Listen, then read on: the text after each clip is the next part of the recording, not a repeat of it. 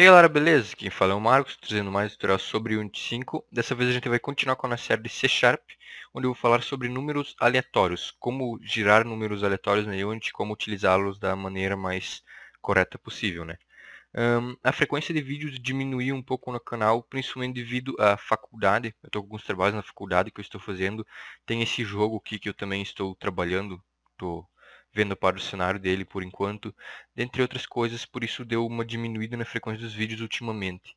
Fora alguns projetos que eu estou trabalhando em âmbito pessoal, mas é, pretendo voltar a trazer um vídeo por semana. Essas agora só que deu uma falha de três semanas, mas pretendo voltar com a frequência de um vídeo por semana. E vamos à aula. Bom, hum, como que a Unity faz para gerar números aleatórios? Primeiramente eu vou criar um script em C Sharp aqui. Para explicar melhor essa parte, vamos chamar de aleatório.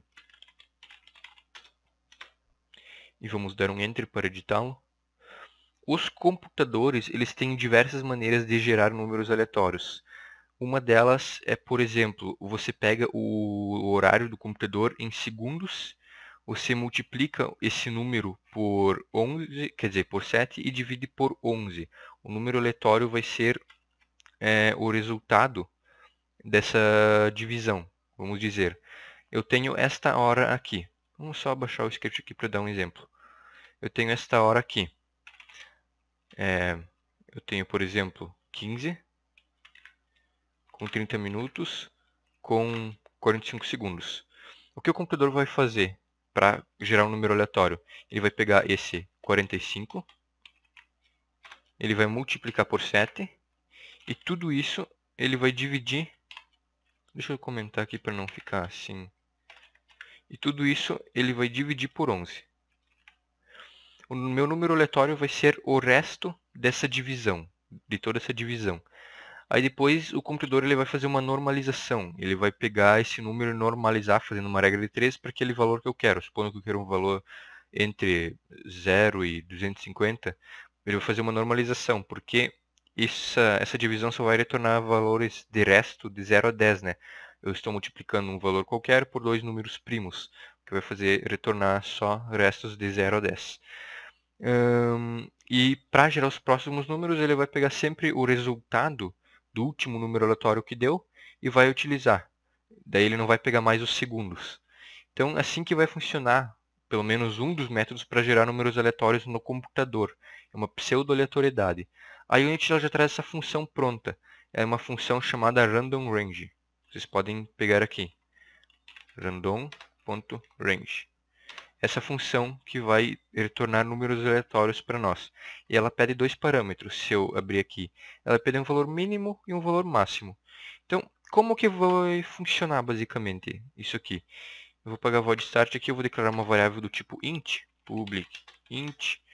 Eu vou dar o nome de número, int é para números inteiros e número só o nome. E eu quero jogar um número aleatório nessa variável. Então, essa minha variável número, ela vai receber um número aleatório. Como que eu faço isso? Eu faço ela receber um random.range. Agora ela pede um valor mínimo e um valor máximo. Quer dizer, o meu valor aleatório vai ter que estar entre esses dois aqui. Ele vai fazer o sorteio entre o meu valor mínimo e o meu valor máximo. Eu quero que esse número receba um valor aleatório entre 0 e, sei lá, 50. Então, 0,50. Vamos fechar aqui. Fechar. Só que eu não quero que isso aconteça no meu update direto, né? Eu não quero ficar dando um monte de números aleatórios. Então, eu vou fazer ele só receber esse número aleatório quando apertar E. Então, vamos colocar aqui dentro de um if. If input input ponto get key down. Vamos colocar o E keycode.e. Então, quando apertar a tecla E, esse meu número vai receber um valor aleatório entre 0 e 50. Vamos salvar aqui. Vamos ver o que acontece. Só compilar o script. Deixa eu até tirar o FPS controller da cena aqui e colocar, sei lá, um objeto para jogar esse script. Hum, então está aqui o meu objeto. Eu vou jogar o script nele. E aqui eu tenho minha variável do tipo int com nome e número e ela não tem nenhum valor. Eu vou dar um play. Vocês podem perceber agora, eu vou apertar E e ele vai receber um número aleatório entre 0 e 50. Ó, deu play, vou apertar E, recebeu 17, vou apertar E, recebeu 11, vou apertar E, recebeu 41. E assim eu posso ficar apertando ele, vai receber um monte de números aleatórios entre 0 e 50. Sempre assim que vai funcionar.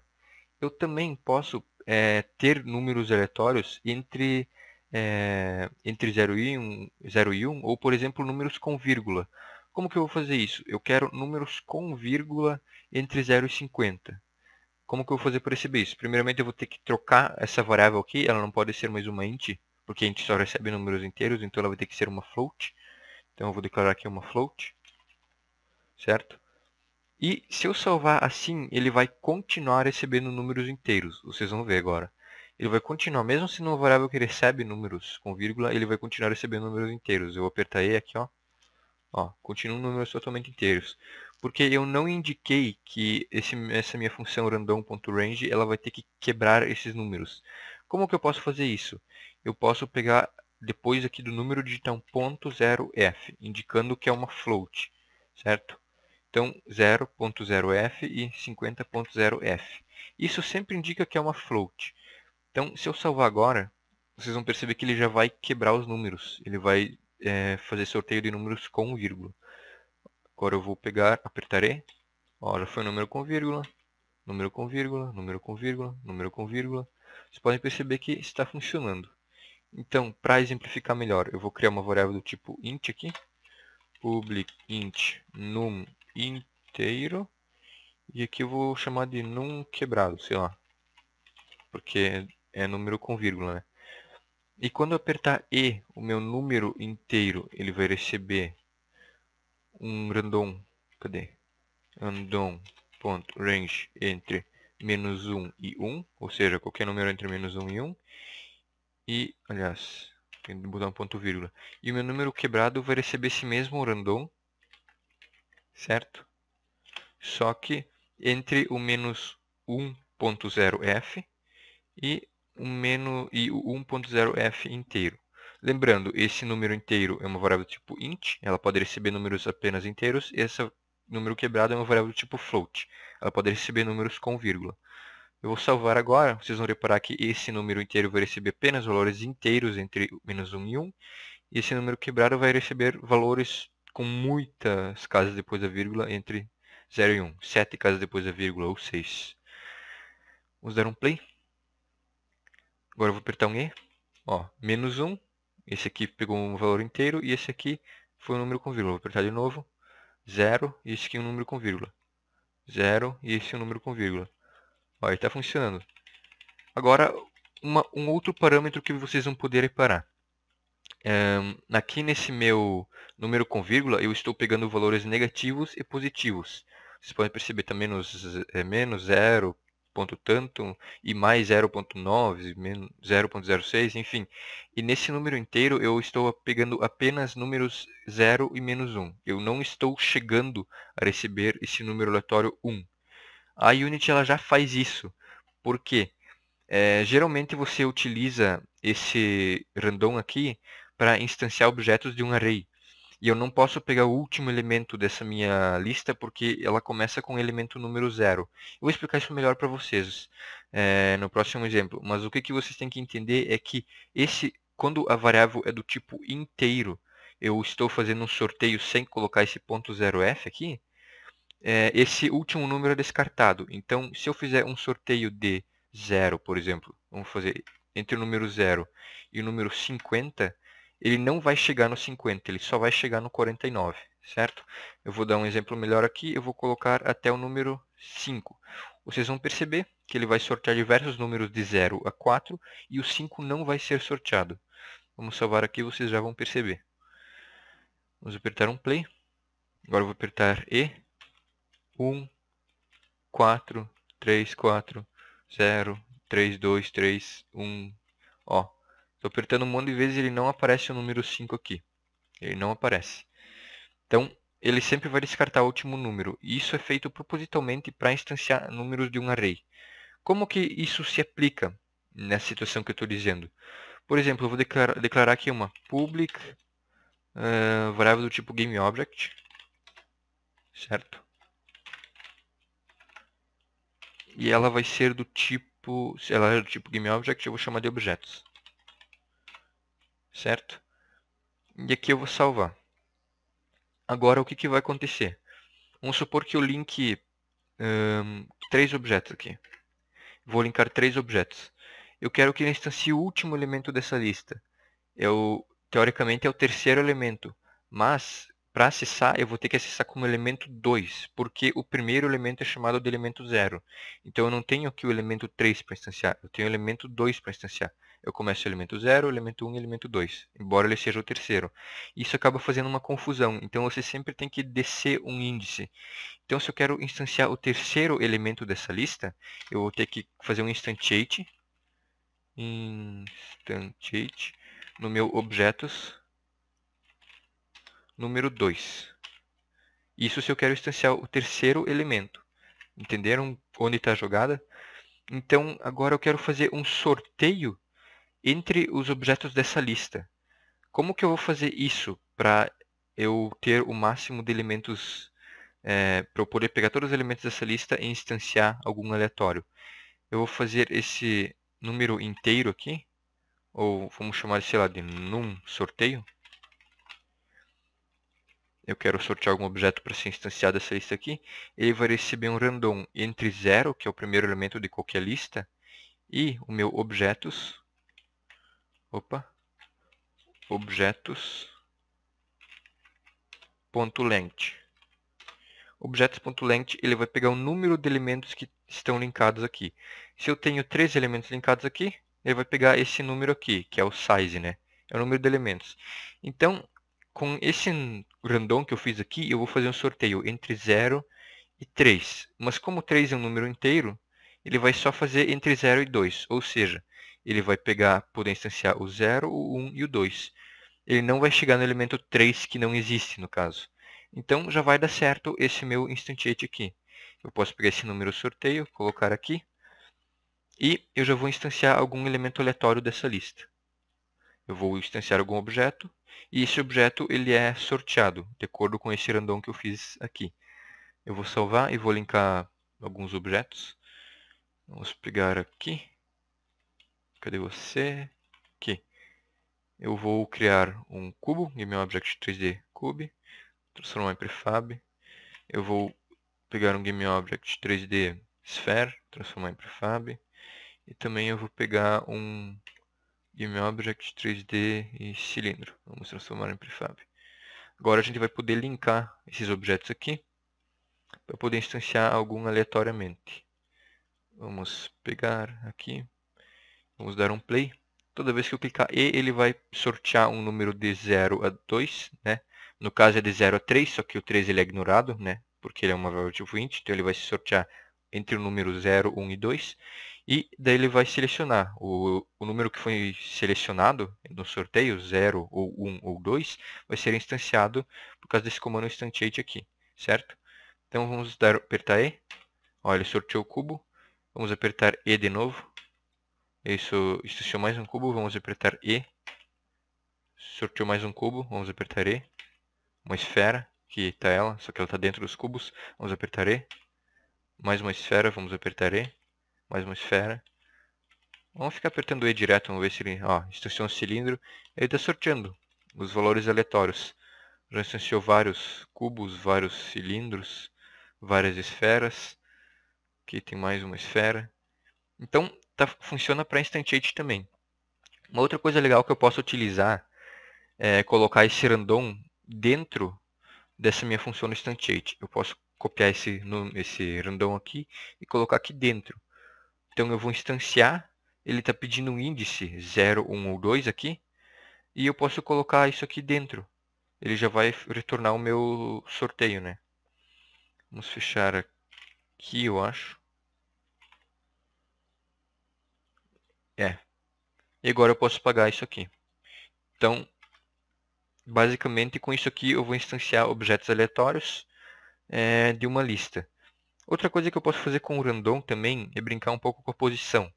Eu quero que a posição do meu objeto mude aleatoriamente toda vez que eu apertar E. Então, toda vez que eu apertar E, eu vou dizer que o meu transform.position, então, transform.position, vou receber um new vector 3, E aqui ele pede é, três parâmetros, posição x, posição y e posição z, certo? Mas o que, que eu quero fazer? Eu quero que essas posições sejam aleatórias. Então aqui dentro, no lugar do x, do y e do z, eu vou colocar randoms. Então no lugar do x eu vou colocar um random.range, ou seja, um sorteio entre menos 10 e 10. Vocês podem colocar o valor que vocês quiserem. Para o eixo y eu vou fazer a mesma coisa. E para o eixo z eu vou fazer a mesma coisa. Então está aqui. Certo? Vamos salvar. Ele sempre vai pegar posições inteiras, porque eu não estou colocando aquele ponto 0f, né? Que indica que é uma float.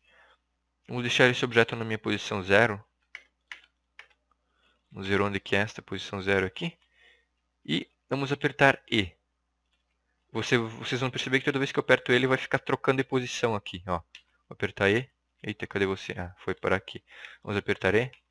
Ó, eu fico trocando de posição para posições aleatórias. Isso é muito útil para você instanciar algum inimigo, alguma coisa, alguma posição aleatória do cenário. Você pode determinar um range de posições que ele pode obter e assim você coloca ele sempre em algum lugar aleatório. Também posso utilizar isso para instanciar vários objetos em posições aleatórias. Como que eu faria isto? Eu posso fazer, por exemplo, um instantiate de um cubo aqui. Vamos criar uma variável public game object cubo e eu vou instanciar esse cubo em qualquer lugar da cena. Então vamos colocar aqui o comando instantiate cubo, certo? Se eu colocar uma vírgula aqui, ele vai pedir aonde que eu posso colocar o parent. Eu vou colocar a posição desse meu cubo nesse local aqui. Ah, mas para simplificar, eu vou fazer o seguinte, eu vou apenas instanciar o cubo, mas eu vou jogar ele dentro de uma variável GameObject. Então eu vou jogar esse comando dentro de um GameObject. Vamos criar aqui um GameObject, um, instância, pode ser qualquer nome, e essa instância vai receber esse comando. Como ela está recebendo um comando e não um objeto, mas ela é uma variável do tipo GameObject, eu vou ter que colocar aqui esse comando asGameObject, para dizer que ela é um objeto e não um comando. Tendo isso, nessa variável aqui, eu vou jogar o objeto que foi instanciado aqui. E aí eu vou trocar a, posição dessa instância aqui, certo?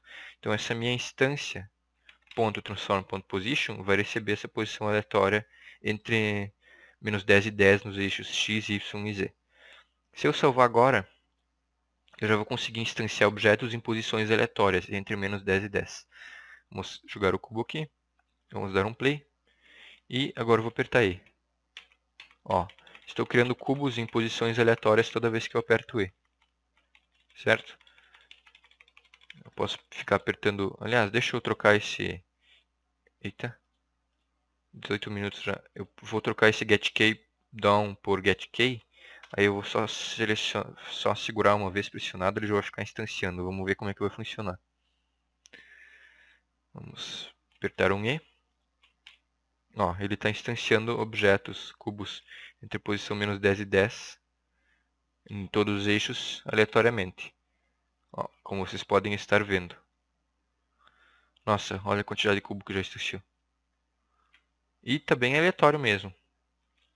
Lembrando que sempre pega posições inteiras. Então, é mais ou menos assim que funciona o nosso random.range. Você pode pegar, é, gerar números aleatórios de qualquer valor que você quiser. Eu quero um número aleatório entre uh, 900 e 1000, então basta você jogar esse número numa variável do tipo int to float. Então eu vou ter int num 1, por exemplo, eu vou fazer esse random, random.range, entre 900 e 1000. E aí o Unity já vai gerar um número aleatório entre esses dois valores aqui, certo? Acho que essa aula fica por aqui era mais para explicar como funciona esse, essa, essa pseudo-aleatoriedade da Unity. Não é uma aleatoriedade muito boa, porque nenhum computador tem uma aleatoriedade perfeita, mas ela funciona razoavelmente. E é isso aí. Até mais, galera, e fui!